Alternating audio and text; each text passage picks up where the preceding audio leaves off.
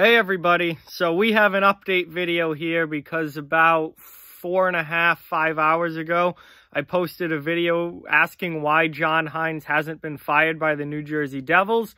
Well, a few hours later, now he has. John Hynes has been let go as the head coach of New Jersey.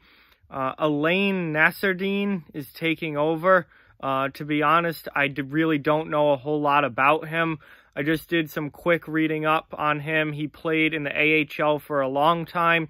Uh, only 74 career uh, NHL games, so he was more of a minor leaguer, but he's been coaching for a long time since his playing career ended. Uh, he's coached in the minors. He's coached at the pro level, at the NHL level.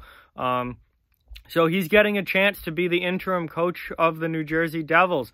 And uh, we'll see how the team looks like under him. Obviously, they've been extremely, extremely disappointing this season under John Hynes.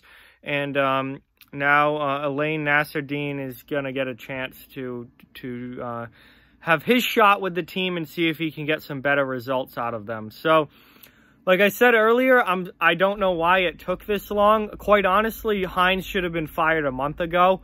Uh, after the start to the season they had in October, he sh probably should have been canned. Um, and then I thought after the performance, the pitiful performance they put on last night in Buffalo, um, I thought he either should have been fired immediately after the game or at least first thing this morning. I, I don't know why they waited until tonight to do it. But anyway, it's happened. Finally, John Hynes no longer the coach of the New Jersey Devils. This has been a long time coming. And uh, we'll see what this team can do from here. I mean, this year is pretty much over already. We're a third of the way through the season. They're the second worst team in the league. Um, I really don't see them turning things around this season or getting any better or making any sort of a run. Um, they still, they're a young team. They have to build for the future. Um, and, and, they've got, you know, still they can make steps forward to, to making themselves better and certainly play better than they have so far this season. As we talked about, their defense has been atrocious. Their goaltending is awful. Um, they're not getting good production out of players that they need to get good production out of.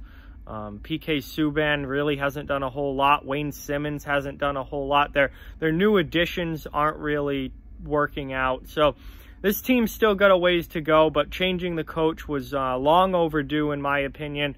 And um, they finally did it today. So John Hynes, no longer in New Jersey, saw this coming, obviously. And um, and uh, we'll see what the team looks like under Alain Nasreddine. So with that, like, comment, share, subscribe, follow on social media. Check out Off the Wall Hockey on social media. Uh, the links are down in the description. Uh, check out our Discord chat as well.